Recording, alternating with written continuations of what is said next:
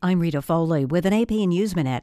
That leaked draft of a Supreme Court opinion that would overturn the landmark Roe v. Wade decision on abortion is shaking the political landscape.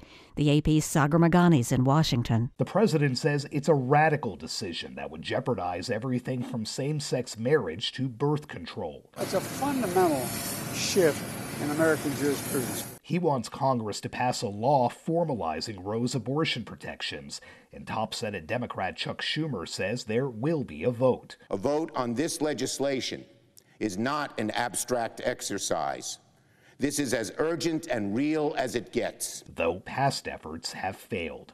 Sagar Meghani, Washington. Republicans are excited at the prospect of winning a decades long fight. They're suggesting Democrats are exaggerating the likely real world impact of a Roe reversal. About half of the states are expected to ban abortion if Roe falls. I'm Rita Foley.